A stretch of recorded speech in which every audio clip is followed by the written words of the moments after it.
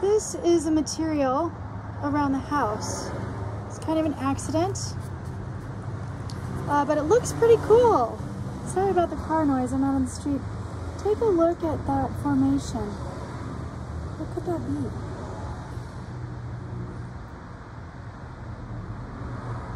What do you see in there? I was hoping to get some sun because it looks really um, kind of pretty and sparkly. All right, so there's there's the thing. This is the interior. It's a bit old, actually. This happened in the uh, the spring quarter. Um, the top of it, this part I, I pulled out of the container. The top of it, this has been out. It's all it's all kind of crispy and soggy. Oh, I'm not showing the right place. Sorry about that. but it's a different texture on top. When it was fresh, sorry, there's some junk from being outside. When it was fresh, it all kind of looked like that on top. What could that be? How would you test it?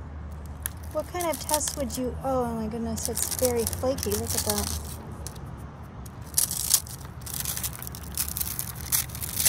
Oh my goodness. What, what's left? What is that? What could it have started out as?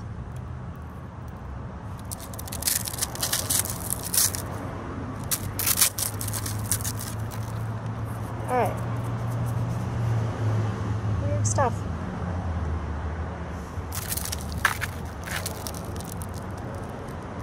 Yeah.